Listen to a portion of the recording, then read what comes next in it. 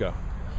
All right, thanks for checking out No Budget Filmmaking. We're here. We got the HDX 900. This is the real bad boy with the Fujinon 11 by wide angle lens, the Avalon wireless video transmitter. This is top of the line gear. This is the kind of stuff that you need to be getting if you're serious about making films or making TV shows. We're always looking out for you.